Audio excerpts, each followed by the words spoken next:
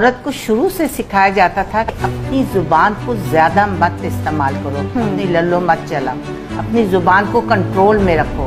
अगर औरत जरा अपनी ज़ुबान को कंट्रोल में रखेगी तो ये चीज़ें ज़्यादा नहीं बढ़ेंगी।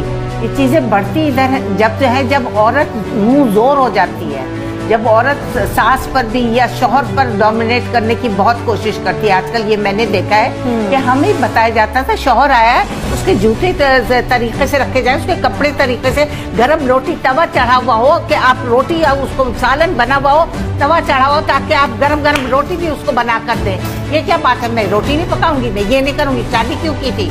अगर if you are not capable of doing this then you better don't get married if you are not capable of taking care of your children don't get married. You have to bear everything. Until and unless you learn all these manners, you should not get married. Until and unless you are not a proper woman, इसका मतलब आप एक आपके अंदर खन्नास है शादी का मतलब रिस्पॉन्सिबिलिटी है अगर आप ये लोग कहते हैं हाँ खान खान सब ये कहते हैं कि शादी का मतलब रिस्पॉन्सिबिलिटी बैठिए, माँ बाप का करती है बैठ मगर मिसेस खान लड़कियाँ ये कहती हैं? क्या होगा कि आप जॉब का करेंगी? मिसेस खान लड़कियाँ ये कहती हैं कि हम मासी थोड़ी ना किसी के घर की बन के जा रही हैं। हम किसी की गुलाम क्या थोड़ी ना बन के जा रही हैं हम तो बीवी बन के में जा रही थी। अपने माँ बाप के घर में मासी थी जो आपकी माई आपको सारा खाना बना के देती हाँ। देती थी। आप कौन से मिनिस्टर और कौन से गवर्नर की बेटी है? क्या आपको ये करना पड़ेगा? क्या बात है? तरह आपकी माँ ने खाना नहीं पका कर दिया। आपको रेस नहीं किया, आपको पढ़ाई नहीं करवाई। कैसे आप पढ़ी लिखी, कैसे आप इतनी बड़ी हुई? कैसे आप किसको आपने संभाला? कौन खाना पकाता था, कौन कमा के लाता था? वही रूल्स अप्लाई होंगे आपके घर में भी। आप कैसे चौधरानी बन के बैठेंगी और कहेंगी सिर्फ़ शौहर का करूँगी। क्यों भाई?